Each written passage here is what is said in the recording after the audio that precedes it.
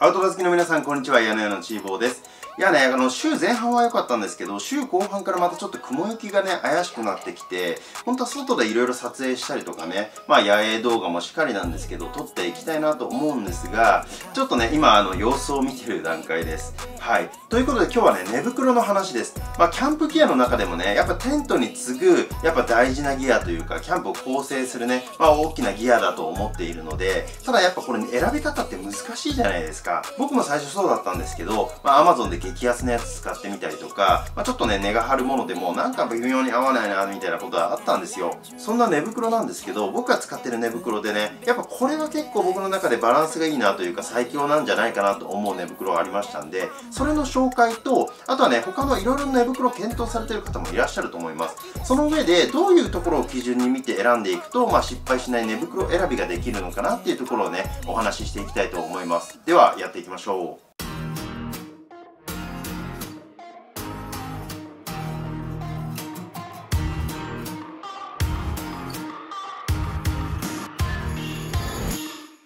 まずね、一口に寝袋といっても、まあいろいろあると思います。本当なら環境によってかなり選び方を変えないといけないですよね。まあいろんなスタイルがあると思うんですけど、例えばね、雪山登山のめちゃくちゃエクストリームな環境で、あの、そこで寝るみたいなのとか、あとはまあ普通に平地でね、あの、キャンプをしますよっていう人もいると思うし、僕みたいにね、結構ブッシュクラフトで山の中に入っていきますみたいなスタイルもあると思います。ただね、僕のチャンネル見てくれてる方は、おそらくね、あの、平地での普通のキャンプ場だったりとか、まあ、もしくはブッシュクラフトで少し山の中に入っていくよっていう人がメインだと思うので、まあ一応念のため確認なんですけど、この動画見てる人の中で、エベレスト登山隊の人いないですよね。はい良かったです。なのでそういう方に合わせての動画になります。まずね僕が今使ってる寝袋なんですけどそれがねこちらモンベルのダウンハガー800まああのモンベルのシャープ2番というか、まあ、2番っていう風に言われてるものですね、まあ、これがねすごくバランスが良くてめちゃくちゃこう気に入ってるやつなんですけど、まあ、いい点っていうのはね、まあ、後ほどお話ししていきたいと思います。で僕はね寝袋を選ぶ上でちょっと基準が3つありまして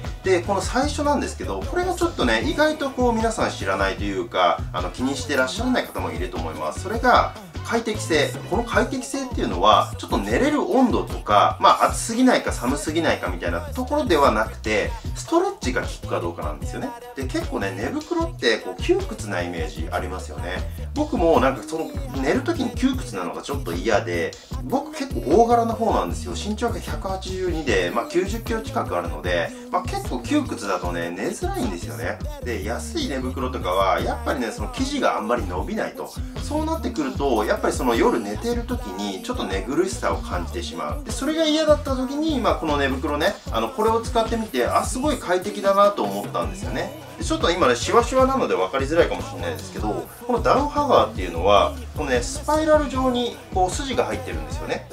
これがね、まあ、スパイラルシステムっていう風に言うらしくて、基本的に普通のね、寝袋って、まあ、縦にこう90度にね、裁断が入ってるイメージあると思うんですけど、これはね、斜めにこう糸ゴムが中に入っていて巻きついてます。で、これがやっぱストレッチ性を生むんですよね。で、いわゆる Amazon とかで安く売っているような、まあ、化学繊維の河川のあのものではなく、これはね、ダウンです。片足をね、90度に曲げて寝る人いますよね。僕もそうなんですけど、ああいう寝方もね、本当に楽々できるので、これすごい快適性が高いんですよね。まあ、このね、寝袋以外でも、そういうスパイラルシステムみたいなのをね、まあ、搭載しているものもあると思うので、まあ、あの、他のがいいよっていう方はね、そういったのもちょっと参考にしていただけるといいかなと思います。なので、寝袋ちょっと寝づらいと思ってた方は、本当にこの伸縮性がおすすめなので、まあ、ぜひね、チェックしてみてください。で、二つ目気になるところは、やっぱり温度ですよね。快適に寝れる温度がどこら辺にあるのかが重要になってきます。本当にめちゃくちゃ高性能なものを選ぶのであれば結構ねあのマイナス30度まで耐えれるみたいな北極行くんかいみたいなねやつももちろんあるっちゃあるし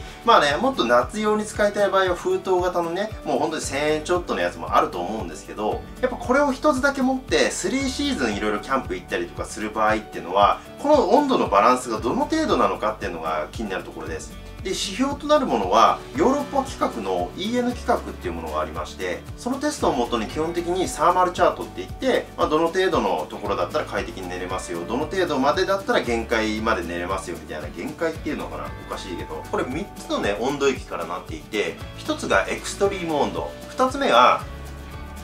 リミット温度。で3つ目がコンフォート温度っていうものからなります。でまずエクストリーム温度っていうのはもう寒さの限界っていうことですね。基本的にここで定められているのは寒さに弱い人が、まあ、ちょっと寝袋の中でこう丸まった状態でまあ最大6時間ぐらいまで耐えられますよって。まあその後ね、どうなるかっていうのは多分ね、死んじゃうことだと思うんですけど、もうこれハードすぎるだろうって感じなので。で、一応この寝袋はそのエクストリーム温度域っていうのはマイナス23度ぐらいに設定されてます。キャンプでね、いきなりこの温度域になることはね、皆さんないと思うので、あまり気にすることはないかなっていう感じです。で、次これがね、皆さん結構関係してくるんですけど、リミット温度。これが基本的にその寒さ耐性が強い人がこの寝袋の中で丸まった状態で、まあ、あのあんまり寒さを感じずに快適に過ごせますよっていう温度です。で僕が持ってるダウンハガーに関しては大体マイナス6度がねあのリミット温度になってます。次がね、まあ、一番快適な温度域とされるコンフォート温度。これは基本的にまあ寒がりな人が、まあ、寝袋の中でねあの普通にこうなんていうか丸まらない状態でリラックスした状態で、まあ、寒さを感じることなく快適に寝れる温度ですよっていうものです。でこの寝袋に関してはこのコンフォート温度が0度とされています。ただ気をつけたいのが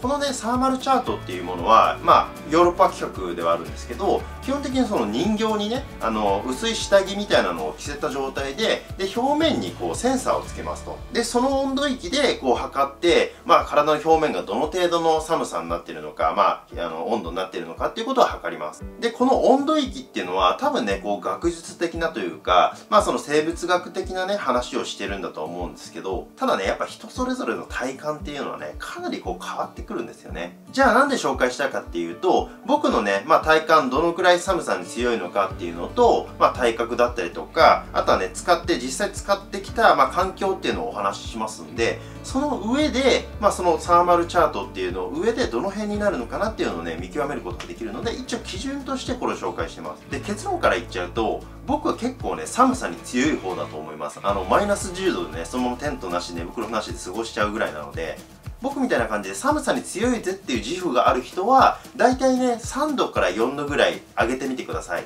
つまりリミット温度がマイナス6度からマイナス2度とかそのくらいに変わるわけです、まあ、つまりそんな人はこの寝袋を使う時に普通に服を着た状態で、まあ、厚着とかはしない状態でマイナス23度ぐらいまでは丸まった状態でまああんまり寒さは感じませんよっていうことですね。コンフォート温度も大体同じぐらいな感じでまあ4度5度6度ぐらいだったらまあ普通の服を着てまあこうリラックスした状態で結構まあ快適に過ごせるのかなっていう感じですね。まあ寒さに強くも弱くもないよって人はここにねまあ23度ぐらいプラスをしてください。そんな人はこのサーマルチャートにまあ567度ぐらいをプラスする感じです。で、寒さにちょっと弱いんだよって人に関しては、まあ、プラス10度ぐらいをね、見ておいた方がいいかもしれないですね。なので、このサーマルチャートっていうのは、ちょっとね、やっぱ低めに見られてるので、実際の人間が感じる寒さっていうのはね、もうちょっと強いですよと。なので、このサーマルチャートっていうのは、意外と低く設定されてるっていう風にね、覚えておきましょう。まあ、この寝袋の具体例を挙げると、大体もう結構極限な状態で、マイナス10度から15度ぐらいの時に、まあ、結構厚着をして、最後ね、あの、ウルトラライトダウンみたいなのを着て、まあ、ちょっと丸まりながらね寝た時があったんですけど、まあ、冬の八ヶ岳とかですねその時は結構まああのちょっと寒いなって感じることもあったんですけど、まあ、朝まで結構ちゃんと寝れたので、まあ、そのくらいはねあの機能すると思います。で普通にいつもね冬にまあブッシュクラフトとかキャンプ場行く時っていうのはまあ大体氷点下下回ることもあるんですけどまあ大体マイナス123度ぐらいでとどまることも多いのでそんな時はまあそんなに厚着はしなくてもまあ快適に寝れるかなっていう感じです。寒い時は結構厚着して寝ればいいだけのことで、まあ、結構これはねその点においても伸縮性がいっぱいあるのでなのでこの伸縮性っていうのは温度の調整のしやすさっていうのにも関わってきます。でさすがに真夏に関しては結構暑いのであんまりこうそもそもね寝袋自体を使わないってことも多いと思うんですけど